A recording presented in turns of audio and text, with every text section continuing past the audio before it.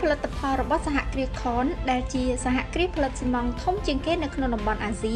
និងជាប់ចំណាត់ថ្នាក់លេខ2នៅលើពិភពលោកស៊ីម៉ងត៍គឺជាវត្ថុធាតុដើមសំខាន់បំផុតក្នុងវិស័យសំណង់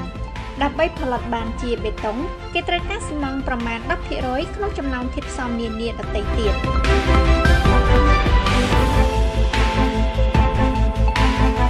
នេះគឺជាបាត់ដំបង Con Cement គឺជាក្រុមហ៊ុនផលិតស៊ីម៉ងត៍ដ៏ធំមួយដែលបានវិនិយោគនិងបង្កើតឡើងនៅប្រទេសកម្ពុជា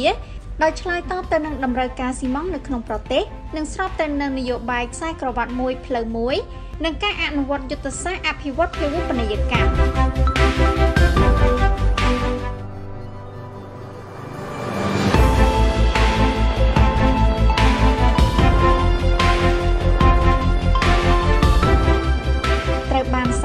ឡើងនៅលើផ្ទៃដីជាង300ហិកតាក្នុងស្រុករតនមណ្ឌលខេត្តបាត់ដំបង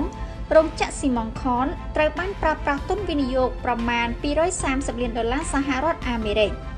ការជ្រើសរើសយកទីតាំងនេះដើម្បីសាងសង់រោងចក្រស៊ីម៉ងត៍ក៏ព្រោះមានលក្ខខណ្ឌអំណោយផលនានាដែលធ្វើឲ្យការផលិតប្រព្រឹត្តទៅបានល្អនិងឈានដល់គោលដៅកំណត់នៅខេត្តបាត់ដំបងយើងនេះមានភ្នំដែលអាចគុតគង់ ថ្មកបោឲ្យទៅរោងចក្រស៊ីម៉ងត៍ដូច្នេះយើងបានជ្រើសរើសទីតាំងនេះដើម្បីជាកន្លែងផលិតស៊ីម៉ងត៍មួយក្នុងមួយថ្ងៃមាន5000តោនថ្មកបោហើយយើងយល់ឃើញថាផលិតផលស៊ីម៉ងដែលយើងបង្កើតបាននេះគឺមានសម្រាប់គ្រប់គ្រងទូទាំងប្រទេស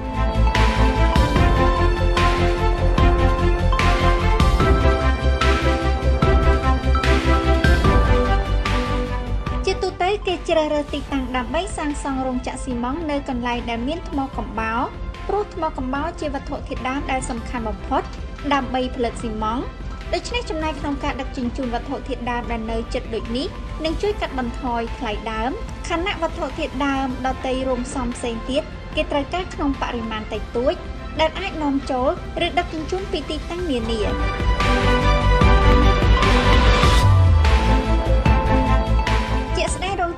ចក្រ Simon Cons បាត់ដំបង បានប្រើប្រាស់វត្ថុធាតុដើមមួយចំនួនពីក្រៅប្រទេសផងដែរ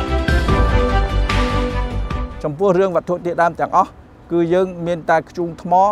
នាំចូលពីប្រទេសឥណ្ឌូនេស៊ីហើយនឹងមនាងសេឡាយើងនាំចូលពីប្រទេសថៃហើយនេះជាភាគរយតិចក្រៅពីនឹងគឺ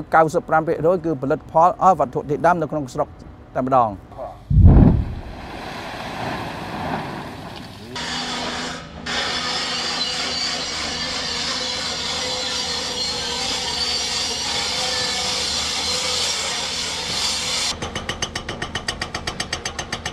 នេះជាសកម្មភាពយកថ្មដែលជាថ្មកំបោរដែលជាវត្ថុធាតុដើមដ៏សំខាន់សម្រាប់ការផលិត ជាទូទៅអ្នកបច្ចេកទេសបានបែងចែកជាដំណាក់កាលដំណាក់កាលក្នុងសង្វាក់ផលិតកម្មទាំងមូលដំណាក់កាលទាំងនោះរួមមានការទាញយកវត្ថុធាតុដើមឬកន្លែងយកថ្ម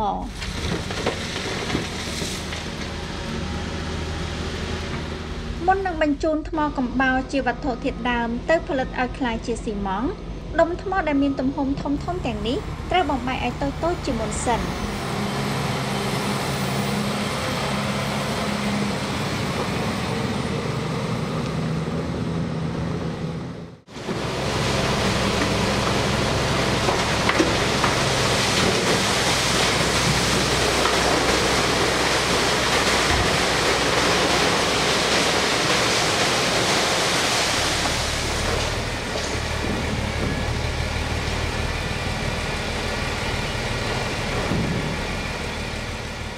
បន្ទាប់មកគឺដំណាក់កាលលាយកិនក្នុងដំណាក់កាលនេះវត្ថុធាតុដើមដែលបំបែកហើយត្រូវបានបញ្ជូនមកដល់ទីតាំងពិសោធន៍ដែលទីនេះមានតួនាទីវិភាគទៅលើសមាមាត្រនៃថ្មកំបោរនិងដីឥដ្ឋយ៉ាងម៉ត់ចត់មុនពេលចាប់ផ្ដើមកិន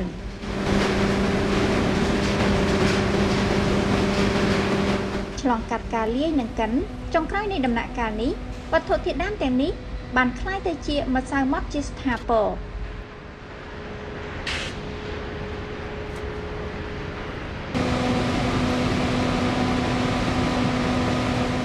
ដំណាក់កាលទី3គឺដំណាក់កាលមុនពេលដុតកម្ដៅនិងបន្តទៅដំណាក់កាលទី4គឺដុតកម្ដៅដំណាក់កាលនេះគឺវត្ថុធាតុដើមត្រូវបានដុតកម្ដៅក្នុងសីតុណ្ហភាព1450អង្សាសេឡដុតនេះដំណើរការដោយប្រើប្រាស់ឧស្ម័នធម្មជាតិនិងធ្យូងថ្មនៅពេលដែលវាធ្លាក់ដល់បាតឡដុតវត្ថុធាតុដើមទាំងនេះប្រែរូបទៅជារាងមូលតូចៗដែលតាមភាសាបច្ចេកទេសហៅថា clinker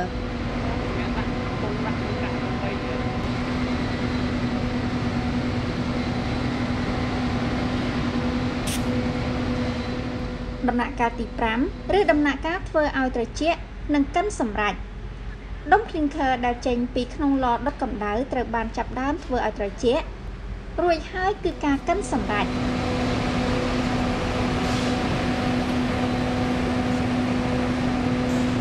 ឆ្លងកាត់ដំណាក់កាលនានារួចហើយផលិតផលសម្រាប់ជាស៊ីម៉ង់គឺដល់ពេលវេលាវេចខ្ចប់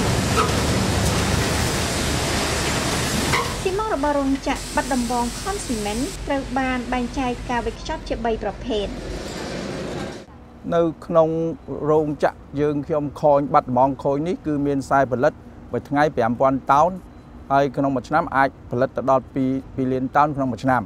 ការផលិតនេះគឺយើងមានវិកខ្ចប់ជា3ប្រភេទប្រភេទទី1គឺកញ្ចប់កញ្ចប់50គីឡូហើយប្រភេទទី2គឺ1500គីឡូប្រភេទទី3គឺឡានដឹករាយយកទៅ កន្លែងដែលលាយប៊ីតុងដូច្នេះការចែកចាយយើងមានទីតាំងហើយមានដេប៉ូចែកចាយគ្រប់ខេត្តគ្រប់គ្រប់ស្រុក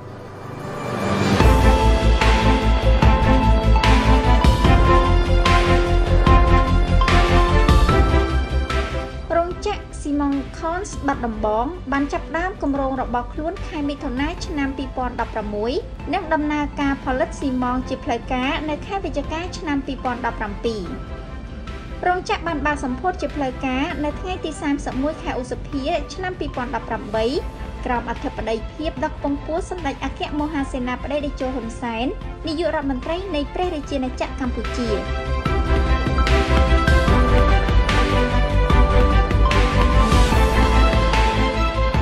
រោងចក្រនេះ គឺជារោងចក្រដ៏ធំនិងបំពាក់ដោយបច្ចេកវិទ្យាទំនើបចុងក្រោយបង្អស់នៅប្រទេសកម្ពុជា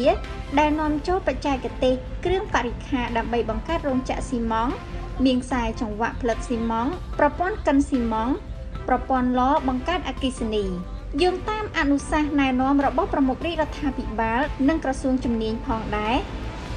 ហេដ្ឋារចនាសម្ព័ន្ធនិងតំបន់ស្នាក់នៅដែលមានអាសយដ្ឋាននៅភូមិដូនម៉ាយ នៅឃុំស្ដៅស្រុករតនមណ្ឌលខេត្តបាត់ដំបងត្រូវបានបង្កើតឡើង ស្របនឹងតម្រូវការជាក់ស្ដែងដោយយើងបានការណែនាំរបស់សម្ដេចអគ្គមហាសេនាបតីជោហ៊ុនសែនគាត់បានចេញអនុសាសន៍ឲ្យក្រុមហ៊ុនយើងខ្ញុំជួយការសាងសង់នៅអាគារផ្ទះរបស់អតីតយុទ្ធជនដូច្នេះក្រុមហ៊ុនយើងខ្ញុំក៏បានបំពេញតាមការងារនឹងហើយកន្លងមកយើងធ្វើបាន100អាគារហើយបានជូនទៅអតីតយុទ្ធជនហើយក៏បានប្រគល់ទទួលនៅតាមខេត្តពងស្ពឺ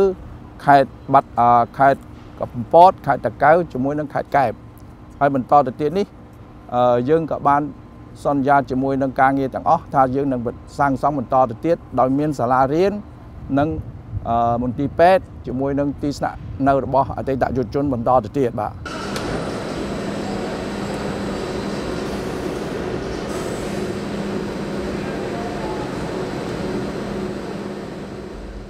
រោងចក្រស៊ីម៉ងខនបាត់ដំបង មានសមត្ថភាពផលិតស៊ីម៉ងក្នុងមួយថ្ងៃប្រមាណ5000តោនឬប្រមាណ2លានតោនក្នុងមួយឆ្នាំបើតួកម្លាំងផលិតមានកម្រិតខ្ពស់ប៉ុន្តែបើប្រៀបធៀបនឹងតម្រូវការទីផ្សារជាក់ស្ដែងនៅមិនទាន់ឆ្លើយតបបាន100%នៅឡើយទេមកទល់បច្ចុប្បន្ននេះរោងចក្រផលិតស៊ីម៉ងទាំងអស់មិនទាន់មានសមត្ថភាពផលិតគ្រប់គ្រងទូទាំងប្រទេសនៅឡើយទេ ដូច្នេះយើងការដែលយើងផលិតនេះយើងមិនមានការព្រួយបារម្ភទេគឺយើងអាចមានលទ្ធភាពអឺគ្រប់គ្រងគ្រប់ទីផ្សារហើយមិនតែប៉ុណ្ណេះអឺរោងចក្រស៊ីម៉ងទាំងអស់បានរៀបចំជារចនាសម្ព័ន្ធមួយគេហៅថាសមាគមរោងចក្រស៊ីម៉ងដូច្នេះមិនមានការព្រួយបារម្ភក្នុងការប្រជែងគ្នាទេ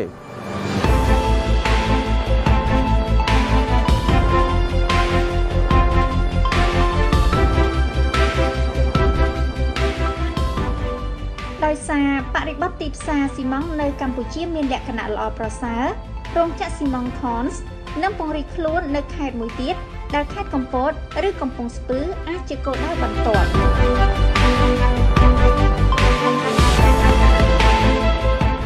ួរជម្រាបផងដែរថាសហគ្រាស Cons គឺជាសហគ្រាសផលិតស៊ីម៉ងធំជាងគេនៅក្នុងតំបន់អាស៊ីនិងជាប់ចំណាត់ថ្នាក់លេខ2នៅលើពិភពលោក បច្ចុប្បន្ននេះទ្រព្យសកម្មសរុបរបស់ក្រុមហ៊ុនបានកើនឡើងដល់ជាង170ពាន់លានដុល្លារសហរដ្ឋអាមេរិកវិសាលភាពអាជីវកម្មមានឧស្សាហកម្មធំធំចំនួន4គឺស៊ីម៉ងសម្ភារៈសំណង់ការសន្សំធម្មពលនិងការការពារបរិស្ថាននិងសេវាសង្គមក្នុងនោះដែរការផលិតស៊ីម៉ងគឺជាឧស្សាហកម្មដែលនាំមុខគេរបស់ក្រុមហ៊ុន សហគ្រាសមានបទសម្ព័ន្ធ150បុគ្គលិកជាង50000នាក់ទូទាំងពិភពលោក។